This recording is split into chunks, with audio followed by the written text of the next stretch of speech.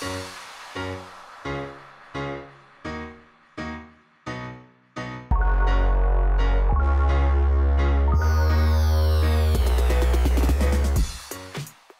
I'm Seth with the Fleecefox Studio. Thanks for tuning in.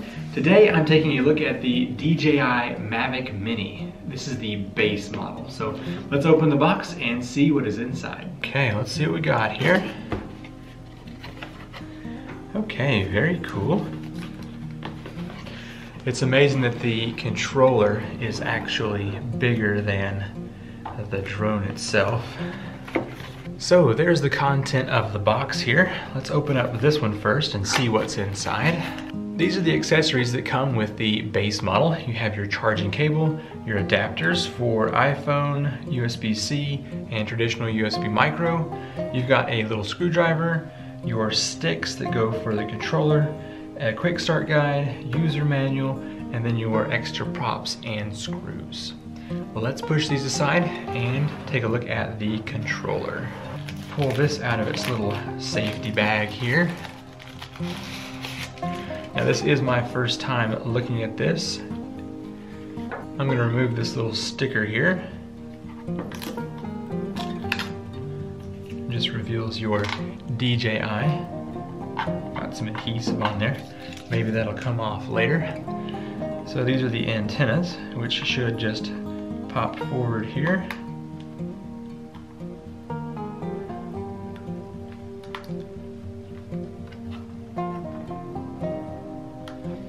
I'm really hoping that this will fit my phone with case. Let's see how well it does here. Yeah, it's got a pretty tight tolerance. I don't think it's meant to hold your phone with the case on it, which is a little bit disappointing, but that may be good enough to hold it in as long as I am really careful there. So you can see that it is uh, supposed to go in these little grooves but uh, does not. Let's go ahead and pull the phone out of its case here and see how well it fits in here. Yeah, definitely a much more snug fit there as it is supposed to be. So let's just take a little look around the controller.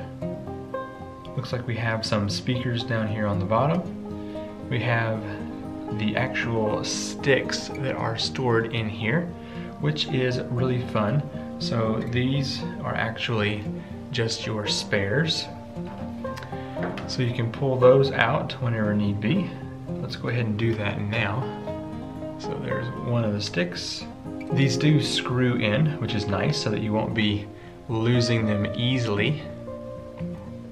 As buttons go, you have your sticks, you've got the power button over here, you have the return to home button over here, on top you have a still image and a record button and then you've got your dial here at the bottom.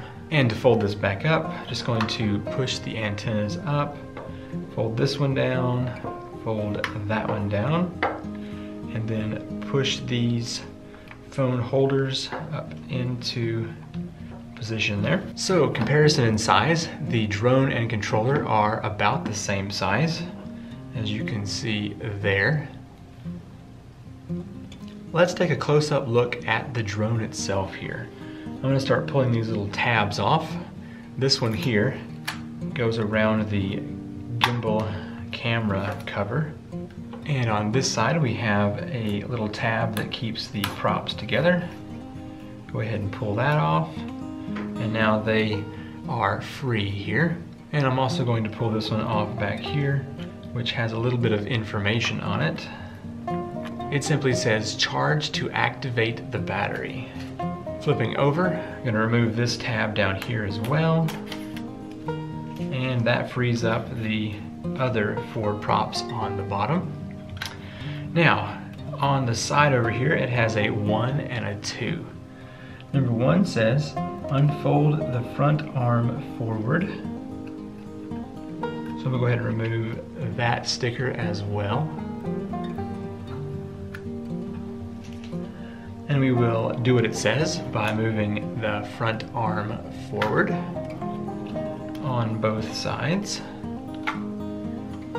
And then we will come down here to the other sticker that says unfold the rear arm downwards. So let's unfold downwards. I like the satisfying snap that it has when it comes back into place. So it's got kind of a, a spring there that keeps it where it should be. Now I know this drone is supposed to keep within 249 grams, which makes the top case kind of cheap sounding, but it really is lightweight and uh, fits in the palm of the hand. So let's take a closer look at the drone here, starting with the front. You can see the camera here. Let's go ahead and pull that protector off of there. And you can see the camera. And it does have that gimbal on the front. The battery has a charge indicator down here. It has the optical sensors. And then if you move over to the back side, you have the place for your charging cable, your micro SD card, and then you have the location of the battery. So let's see about pulling that out. I just pinched the little tab that's in here, a little bit hard to get to, and the battery slides right out of there. Has a nice guide groove to help you put it back in in the correct direction and a rather cheap back door here. Cheap feeling at least I should say. The props do swing freely and written right here on the side is 249 grams. So my first impression of the unboxing is pretty good. Everything is packaged well. The drone, of course, has that uh, lightweight feel to it, which is exactly what we want. The controller is almost just as heavy as the drone, and seems to be made quite well. There is one thing that seems lacking in this kit, and that is the wall plug charger. So um, if you go to the quick start guide here, step number one is to use a wall charger to charge both the uh, controller and the drone. And that is absent. So other than that, it looks pretty good. So I'm gonna go ahead and plug these up and start the charging process. And in the meantime, we can load up the phone and get our DJI Fly app.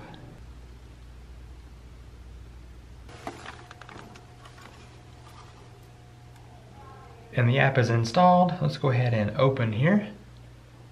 It's asking for permission to use the location and photos. Go ahead and set all.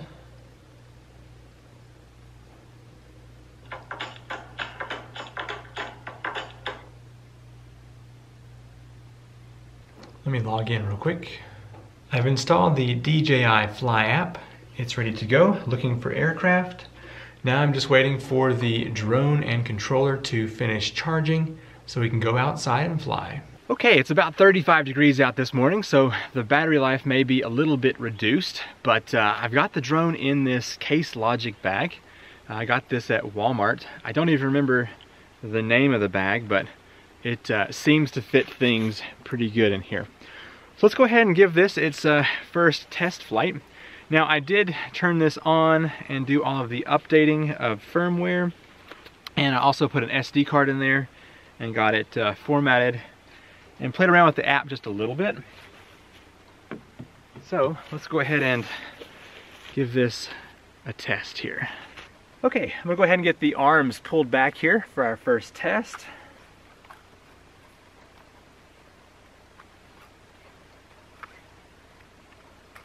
Okay, then I'm going to remove the uh, gimbal cover here. Just set this down. One thing I don't like about this controller is that the uh, mount here does not hold a cell phone with a case on it. I'm a, a firm believer of using a case and so this is kind of a, a disappointment but it is what it is so go ahead and get the sticks installed on this. Got my cell phone out. Okay, this is the first time I've used one of these controllers like this. Uh, I'm used to the Phantom 4, so it's a little bit awkward getting the cell phone in there with this cable, but I think we're good to go now. So we'll go ahead and turn on the controller here. Ha, there we go. All right, controller is on. We'll go ahead and get the drone on as well.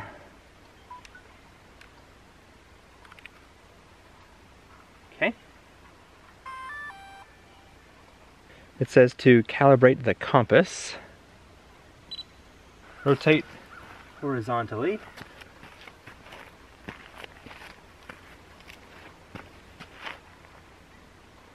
rotate vertically.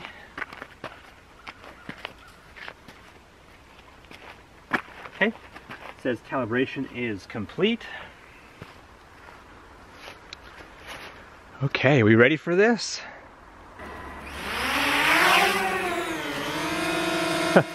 it's so quiet.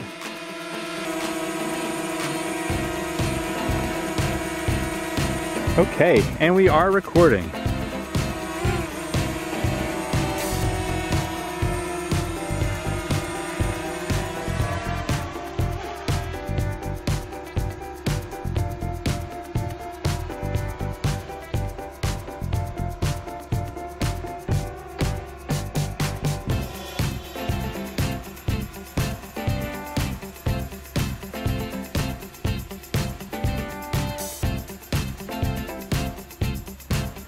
Definitely a bit slower than I'm used to than the Phantom 4.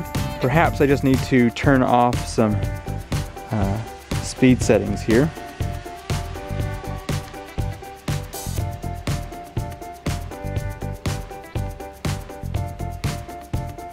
This is full wide open.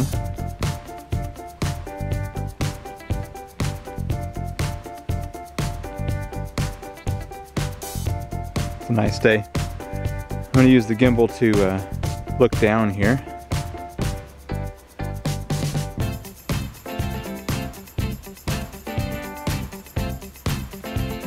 It's nice to know that the uh, barn here is not interfering with the signal. I'm blown away at the sound of this drone. It's so much quieter than the one I'm used to.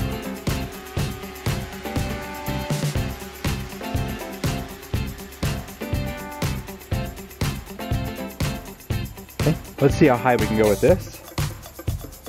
Right now it's recording in meters. I'll have to change that to feet. We're at 60 meters. 100 meters.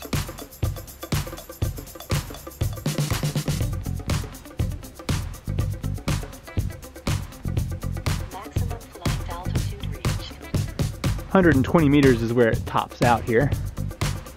You can see that really gives us a good view from up here.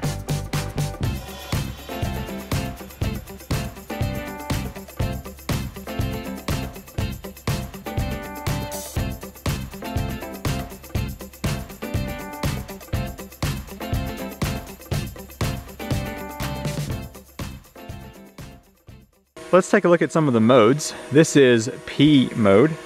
So just gonna look at how quickly it spins around here at max speed and then how fast it goes forward and backwards. Very cool. All right, I'm gonna stop recording and let's see what the next, this is S mode, which is sport mode. So spins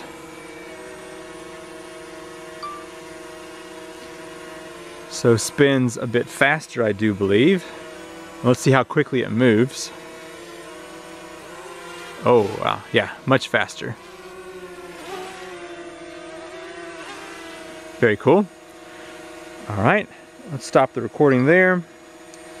Next mode is uh, Cinesmooth. So I want to see how that looks as it spins around. Yeah, much, much slower. Very cool. Yeah, very steady spin around here. And let's see how quickly it moves forward.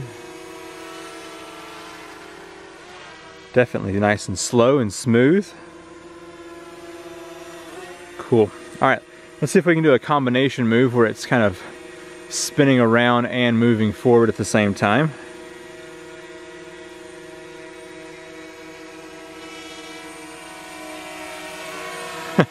Very neat. Definitely a nice combination move. Okay, and then I'm gonna stop that again and see what is next. So we're back to P mode. Very cool. So after all of this, we're at 59% battery and the temperature is hovering around 32 degrees. So definitely still nice and cold out here.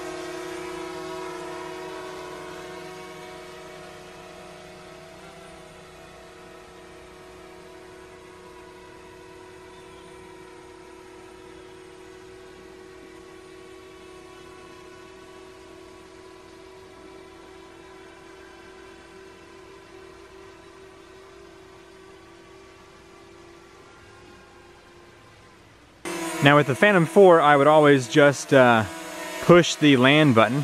I want to see what happens if I just go all the way down here. Nice.